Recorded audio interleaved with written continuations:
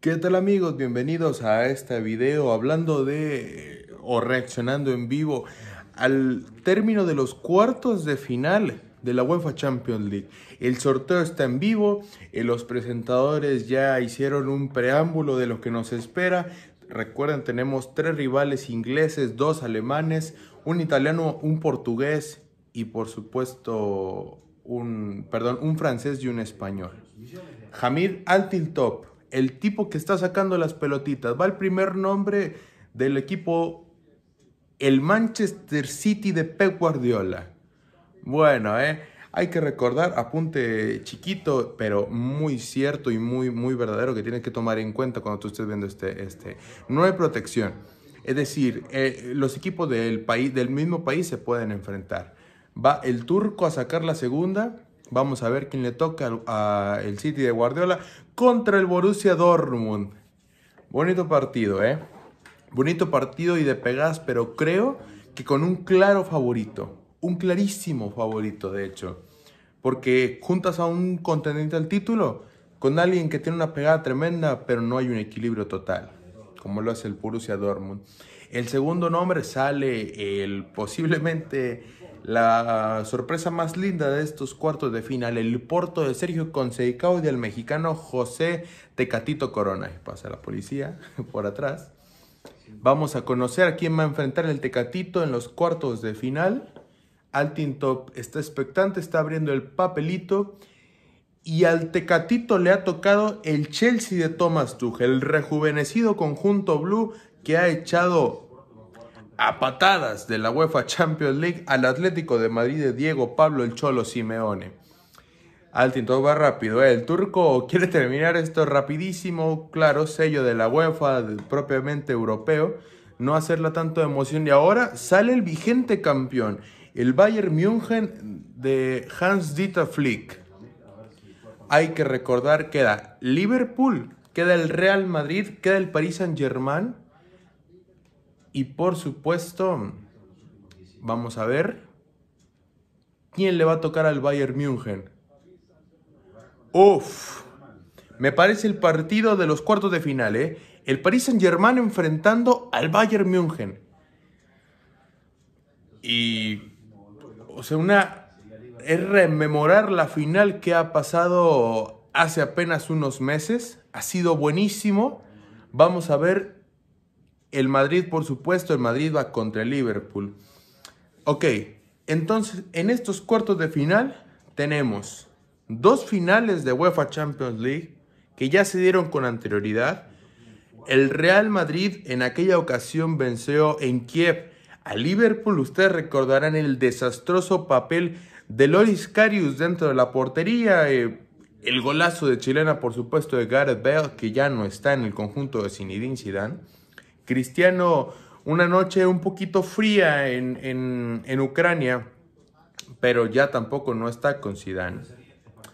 Son buenísimos. Ahora el presentador indica que los horarios y como tal el calendario se darán a conocer más tarde en el transcurso del día.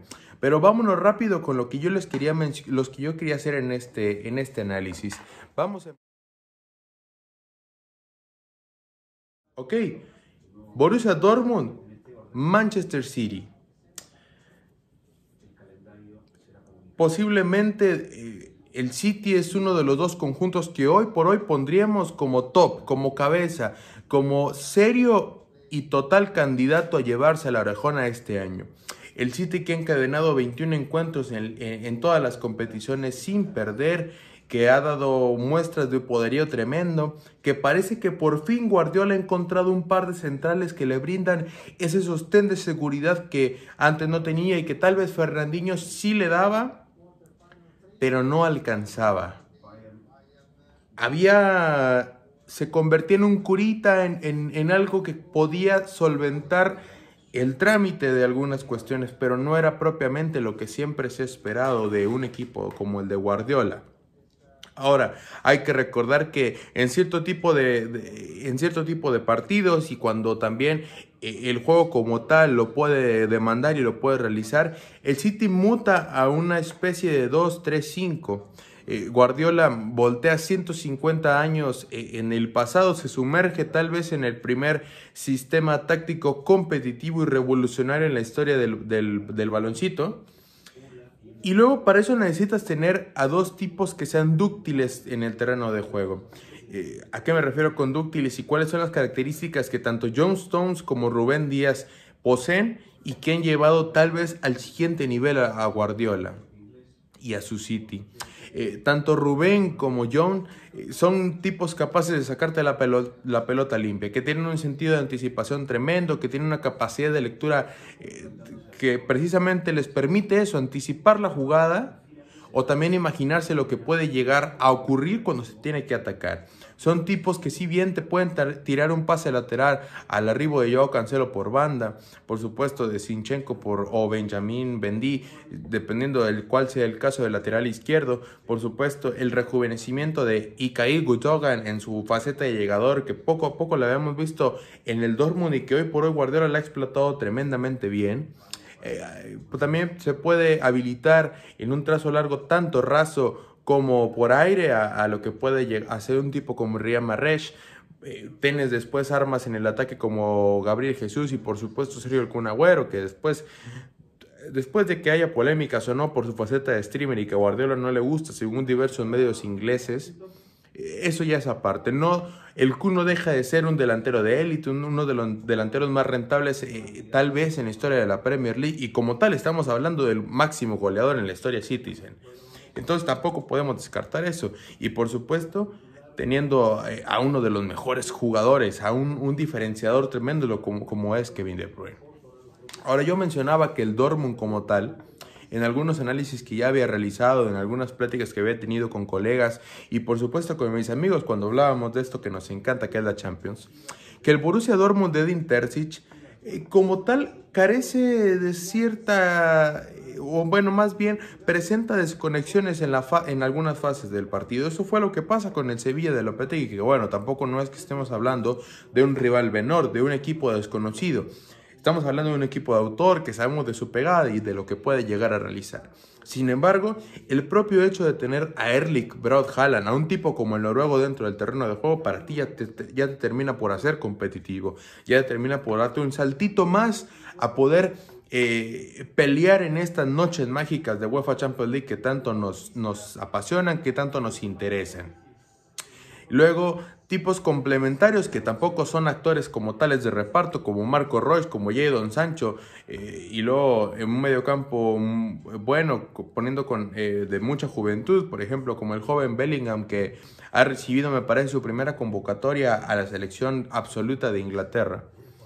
Hacen este tipo de cuestiones. Después viene el tema de equilibrio que el Borussia Dortmund ha sufrido tanto esta temporada, incluso podría decir que uno o dos cursos con anterioridad, y en donde han tenido que despedir a Lucien Fabre em, a mitad de la campaña y Tarsis ha venido como bombero y hoy sabe que Marco Rossi ocupará su lugar en el banquillo al, final, al finalizar esta temporada. Déjenme aquí. Pero entonces, o sea, también no hay que ser tan lúcidos en, cuanto al análisis para entender que un tipo que te puede marcar 47 goles en 48 partidos disputados con tu playera, un tipo que liga cuatro encuentros consecutivos, un tema no menor en, la UEFA Champions League, marcándote doblete, que tiene 10 goles en la presente campaña apenas en 6 partidos y es el, tipo más joven en llegar a los 20 tantos en una UEFA, en UEFA Champions League, que solo ha, requerido de 14 encuentros para poder hacerlo. reitero, no es tema menor que vamos a, regresar un poquito a lo que pasó eh, en el Sánchez Pizjuán y por supuesto también eh, lo que pasó en la vuelta.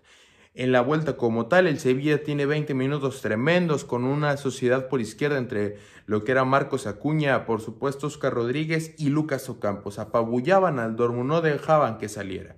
¿Qué pasa? Hay un choque cuerpo a cuerpo de un jugador del Dortmund con uno del Sevilla Dahoud me parece, termina filtrando una pelota a Marco Royce y después a continuación vino posiblemente la que está en el top 2 de las jugadas preferidas de Haaland, el centro lateral en diagonal.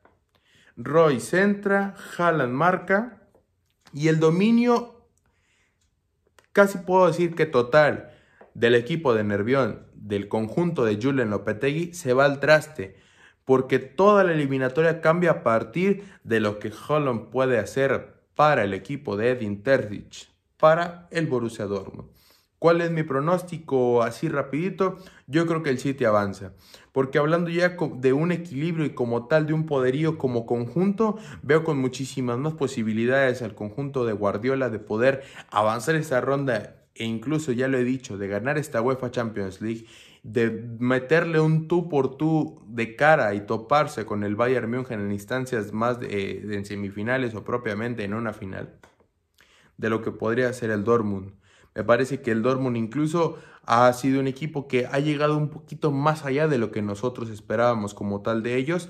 Y mi pronóstico, reitero, igual déjame los tuyos en los comentarios y cualquiera de las plataformas en la cual tú vayas a poder ver esta reacción en vivo del sorteo de la UEFA Champions League que acaba de terminar.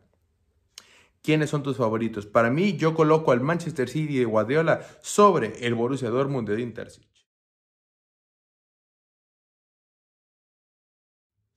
Vámonos rapidito con el segundo duelo. Tenemos Porto contra el Chelsea de Thomas Tuchel. Duelo dispar por donde lo queramos ver. Pero bueno, es la historia de los dragones en esta Champions League. A ver, no hay, no hay que olvidar que terminan por eliminar a la Juventus de Andrea Pirlo.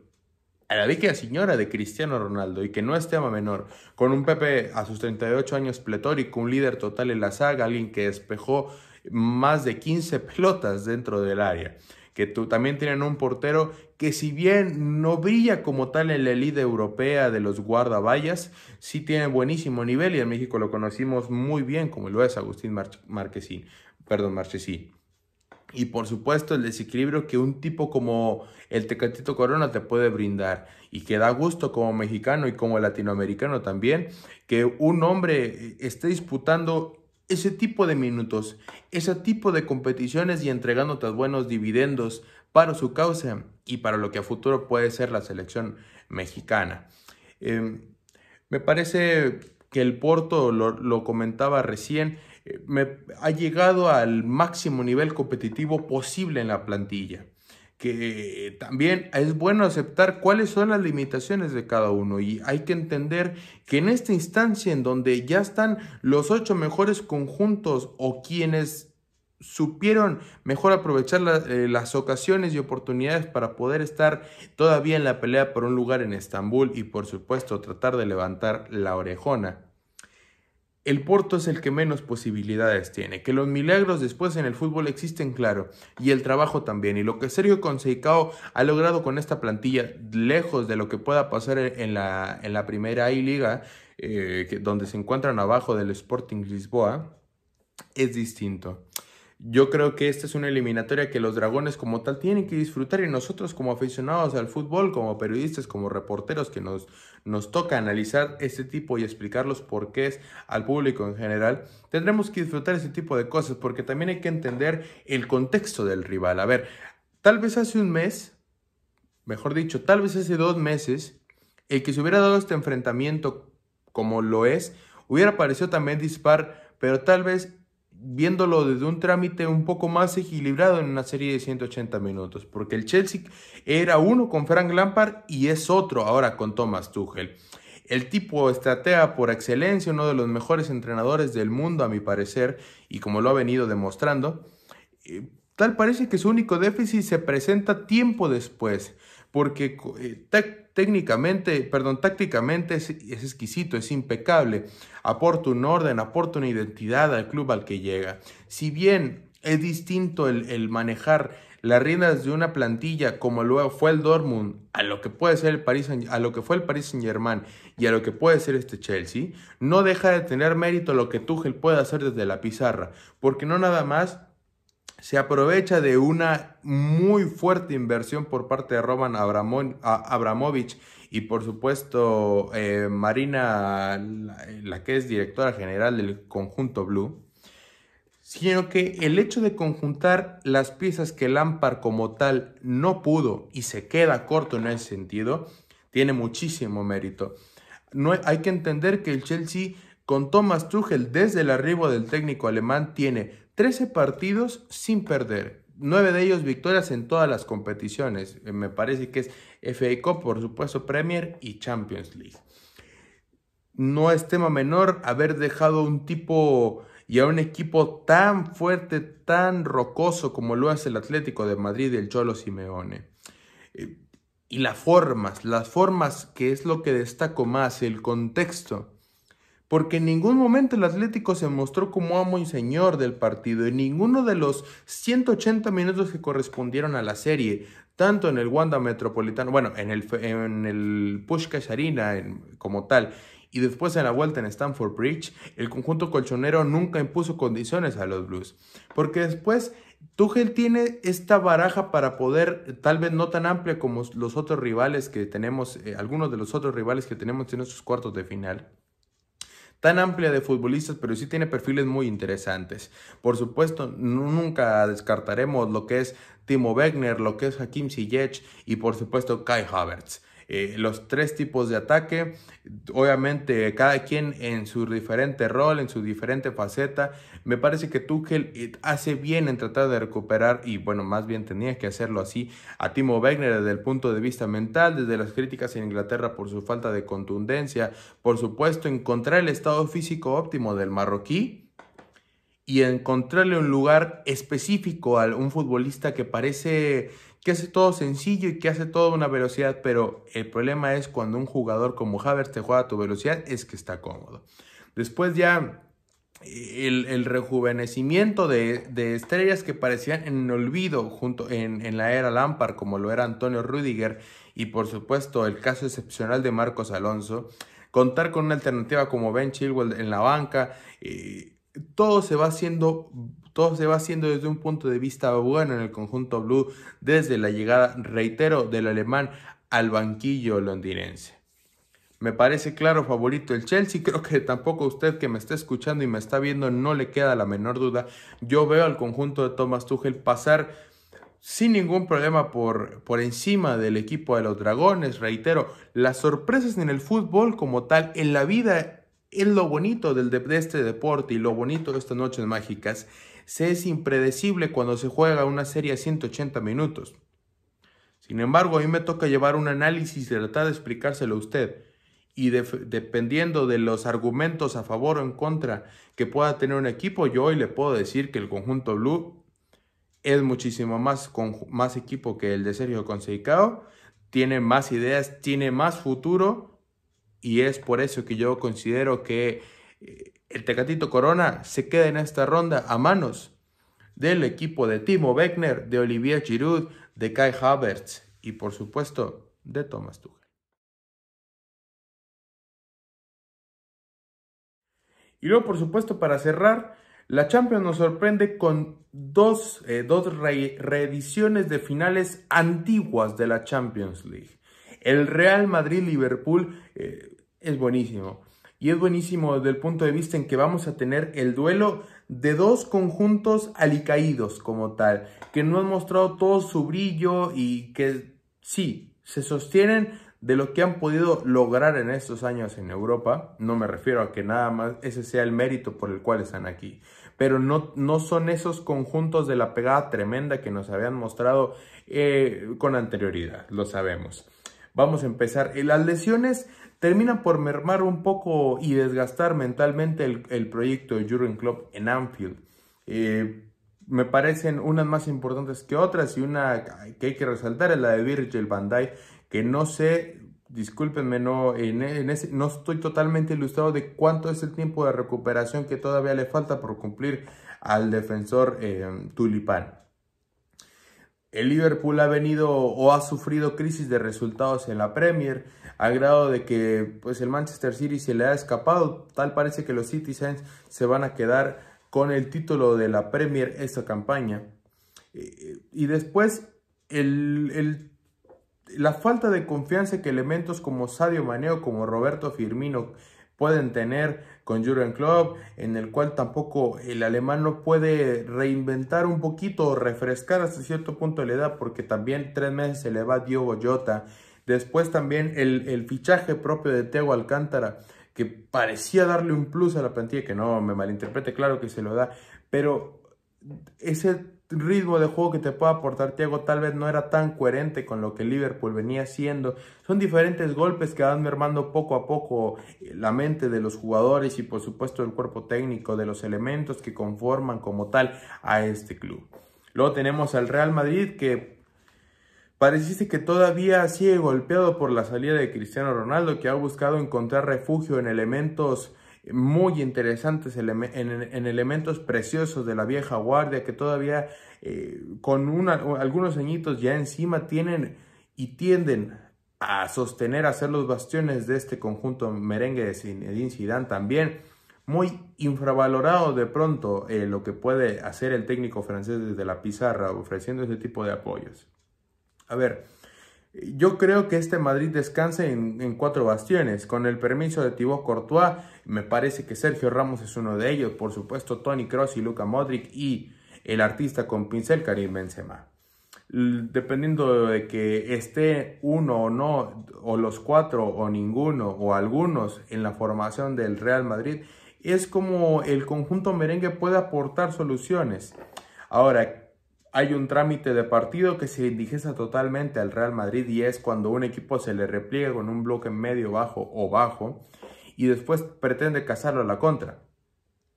La presión como tal al Madrid no le incomoda porque tiene dos centrocampistas puros tremendos para poder sacar el balón del fondo como lo son el croata y el alemán y eso fue lo que pasó contra el Atalanta de Bérgamo.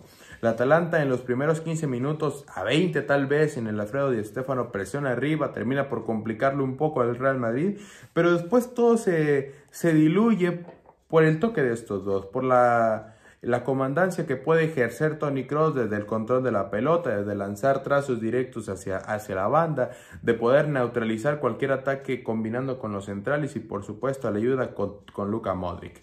Y después el hombre ganador de balón de oro hace apenas unos años, 35 primaveras ya en la espalda y como quiera sigue rindiendo como uno de los mejores centrocampistas del mundo. Llegador, alguien que termina por asistir a Karim Benzema, reitero, la magia del, francés tampoco hay que pasarla desapercibida. Me parece este el, duelo más parejo por las cuestiones psicológicas y futbolísticas que han mostrado ambos equipos. Yo creo que pondría por un pelín eh, favorito al Real Madrid de Zinedine Zidane, por lo que representa la Champions, que es el hábitat natural merengue como tal, por lo que puede llegar a pasar más allá de que las lesiones dejen a Eden Hazard o no, yo creo que en este momento hay que pensar en el Real Madrid sin Eden Hazard, sin la magia del belga. No va a estar disponible, parece ser. Y si está disponible, pues también como queda un poquito lo mismo porque eh, parece que el jugador está tocado mentalmente y que cualquier momento se puede llegar a romper. Entonces tendríamos que pensar ya más en la parte futbolística en cuanto a lo que hombres como Rodrigo Goes y el propio Vinicius Junior te pueden aportar junto o en sociedad con Karim Benzema. Reitero, eh, para mí el Madrid me parte como ligero favorito en esta serie. Habrá que ver también cómo llega Liverpool de club. Eh, sabemos que en reiteradas ocasiones el técnico alemán se ha quejado públicamente de lo, de lo exigente que son los calendarios y más con ellos, porque sabemos que en la Premier es jugar, jugar o jugar. Entonces, tendremos que ver en la previa cómo se termina desarrollando ese tipo de el cansancio físico y mental que pueden llegar arrastrando tanto el conjunto red como el conjunto blanco.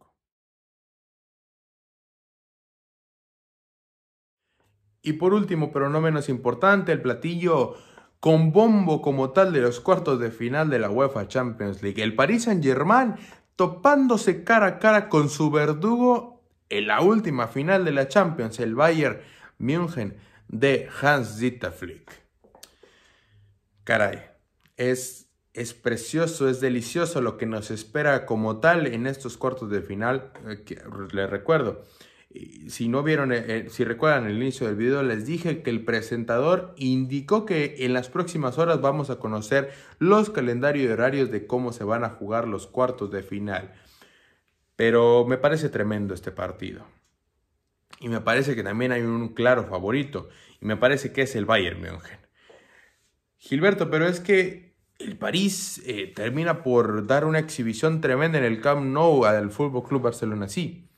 Pero es precisamente el papel que te hace ver o te hace dar el Fútbol Club Barcelona en el Parque de los Príncipes, lo cual deja mal parado el equipo de Mauricio Pochettino, que a ver, tampoco hay que cargarle tanto la mano, tiene poquito tiempo, pero si a esas vamos, si esas vamos también puede entrar el argumento de que Tuchel tiene dos meses en el Chelsea y hoy ha hecho maravillas.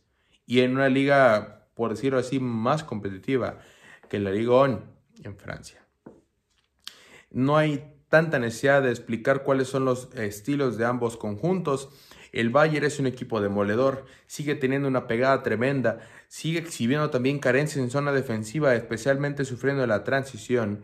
Eh, me parece que por ahí escuchaba hace poquito que tal vez Flick ya no tiene un, un aparato como tal ofensivo tan amplio, lo cual me parece una barbaridad tremenda, porque cuentas con el máximo goleador elite del mundo. Robert Lewandowski, más de 30 goles en esta campaña que apenas lleva marzo y que apenas va a entrar a la vorágine final, al, tramo tremendo, al tramo vertiginoso y al más importante de la campaña. Tennyson Thomas Miola inspirado a un llegador tremendo que es una estaca total cuando entra al área como lo es León Goretzka, a Queens de, de capacidades lindísimas como lo es Sergi Genabri, Kingsley Coman, que termina por marcar el gol que a la pose le da la orejona al Bayern München en la pasada campaña, a un francotirador tan exquisito como Joshua Kimmich, eh, también por supuesto las garantías que un hombre eh, como, como Fonzie Davis o de cierta manera Benjamin Pavard te puede dar por bandas, y por supuesto un pletórico e gigante Manuel Neuer. El Paris Saint Germain depende más de los espacios para correr. No digo que el Bayern no, pero el Bayern te puede bailotear en el área, te puede tratar de, o más bien te toca muchísimas veces el balón a máxima velocidad, que es lo que más inquieta a los rivales de, parte del conjunto de Hans-Dieter Flick. Eh, y el París no. El París es un, es un, conjunto que necesita un poquito más los espacios para correr, lo vimos. El Barcelona planteó un partido abierto como tal eh, Mingueza se equivoca en la primera acción, es, es, amonestado y después a partir de ahí el plan de Ronald Koeman en la ida se viene un poquito abajo. Eh, Kylian Mbappé, reitero, con metros para correr en la bestia que todos entendemos que es.